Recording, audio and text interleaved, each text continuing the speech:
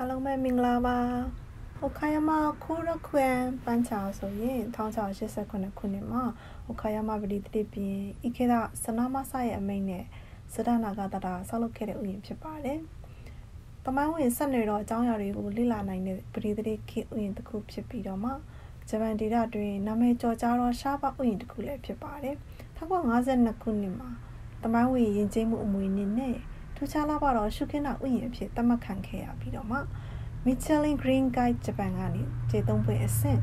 သတ်မှတ်ခြင်းခံရတဲ့ဥယျာဉ်ဖြစ်ပါတယ်။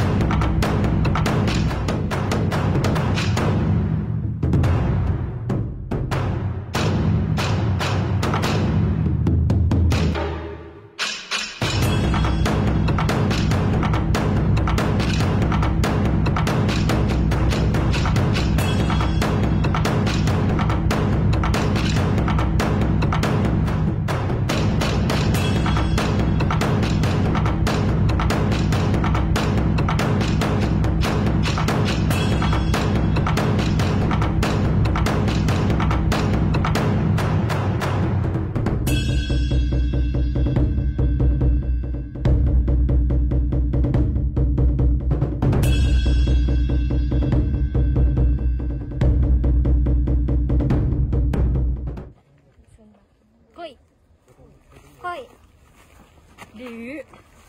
，cá chép vàng，ngà chiên.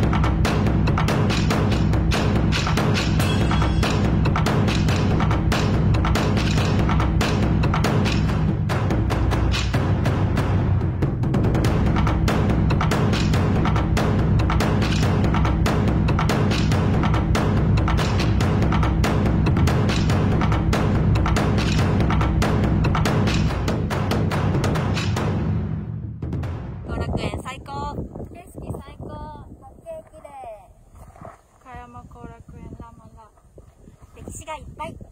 岡山コロクエンドです。はい、で、岡山後楽園。 ဂျပန်ကိုရောက်ရင်ဂျပန်ရဲ့အကြီးဆုံးပန်းခြံ၃ခုတည်းကတစ်ခုဖြစ်တဲ့အိုခါယာမမှာရှိတဲ့